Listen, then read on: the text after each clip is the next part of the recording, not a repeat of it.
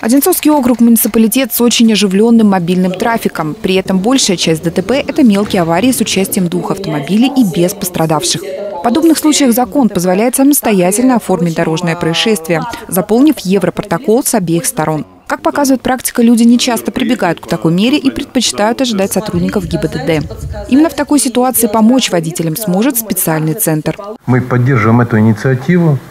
Э, Андрей Родович, как только узнал, конечно, сразу дал команду. Мы э, предприняли все возможные, чтобы предоставить помещение, чтобы неукоснительно этот офис работал и в нашем городском округе. Мы знаем, какой наш округ, один из самых больших Московской области, да и в регионе, наверное, в целом.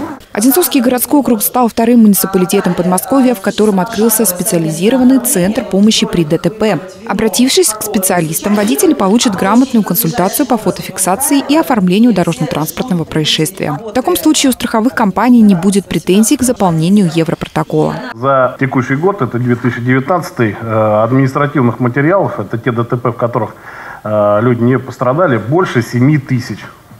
То есть можете представить цифру, это полностью на территории нашего района.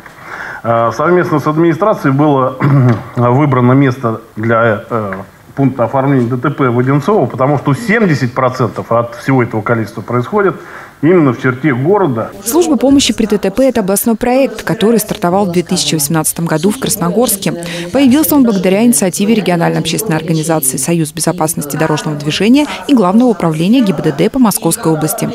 Одинцовский центр помощи при ДТП расположен по адресу улица маршала Жукова, дом 49. Мила Трасевич, Станислав Трифонов, телекомпания «Одинцова».